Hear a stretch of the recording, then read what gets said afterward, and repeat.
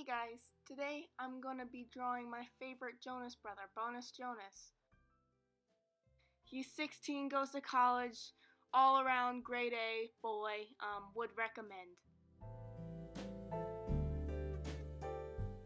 Now, I'm, I'm sure you're all thinking, wow, Sarah, that Bonus Jonas looks very, very similar to Mitchell Musso from Hannah Montana. And to that I say, who knows, maybe there are five Jonas brothers, and Mitchell Musso may be one of them. And it has to be a real picture of Bonus, because when I looked up Bonus Jonas, this was one of the photographs that popped up on my feed. So I say this is one hundo percent a genuine Jonas boy.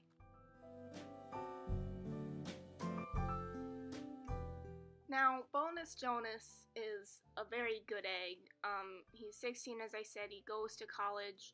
Sure, maybe he was cited for um, illegal drug, drug possession, but you know, we all make mistakes. Um, Bonus Jonas is really living his best life out there, and I thought that I should commemorate that with a drawing of my boy.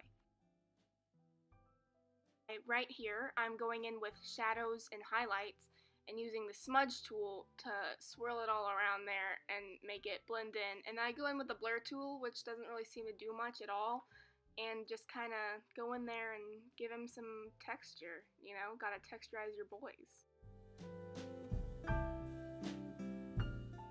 So don't forget to give this video a fat thumbs up. Go ahead, like and subscribe. Comment down below if you think I did a good job of Bonus Jonas, and I'll see you next time.